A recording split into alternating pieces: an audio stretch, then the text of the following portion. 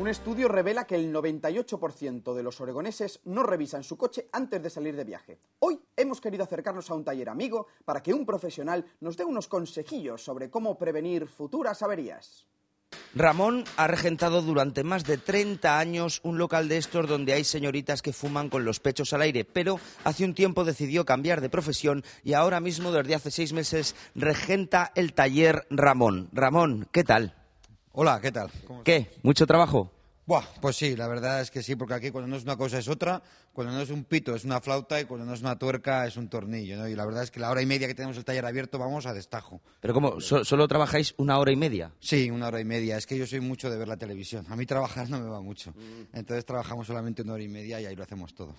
Bueno, Ramón, eh, cuéntanos, eh, cuéntanos a los espectadores qué es lo que hay que hacer para tener el coche en perfecto estado de revista. Bueno, yo te puedo contar lo que hacemos nosotros aquí en nuestra casa, ¿no? Nosotros, para nosotros es muy importante, lo primero, eh, eh, cepillar los retrovisores de los coches siempre en el sentido de, de la pintura para que se relajen. Así el coche ya se queda mucho más tranquilo y está muy bien.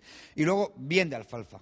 Alfalfa de automóvil, pero sobre todo que al coche no le falte alfalfa. La pones en el morro y él va comiendo a su marcha. La que te pida él. Esto no hay medida, ¿no? Sin, sin- sin medida. Sin medida. Y luego muy importante la seguridad del vehículo, que duda cabe, ¿no? Claro. Nosotros lo que hacemos a los coches es errarlos. Les ponemos herraduras y con eso ya puedes ir por todo tipo de terrenos, sin ningún problema y no teniendo un accidentito, que es muy importante.